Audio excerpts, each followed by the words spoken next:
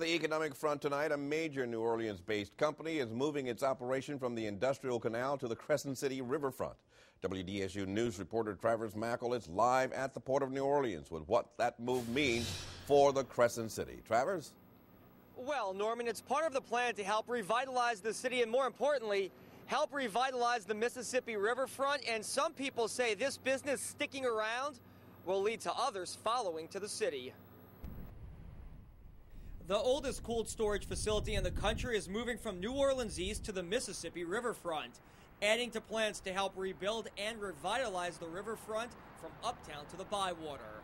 State lawmaker Juan LaFonta says it's a uh, step in the right direction. So it's really, it's, it's a win-win for everybody.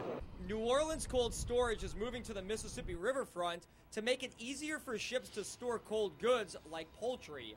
The company's owner says he's glad to be a part of the revitalization. I, I, did not want to come in one day and tell my employees that your job is now in Mobile, Alabama, or in Gulfport, Mississippi, or God forbid, some other place. City leaders say this project goes hand in hand with the Reinventing the Crescent project, a plan costing tens of millions of dollars to turn the riverfront into an area of shops, parks, and businesses.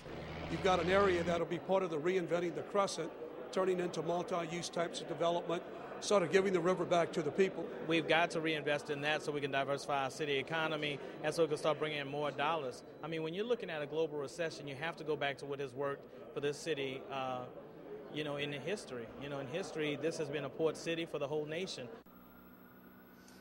Now, the Reinventing the Crescent project will be done in phases. The first phase gets underway just down the river near Chartres Street in the French Quarter. It'll cost about $30 million and will include an outdoor amphitheater.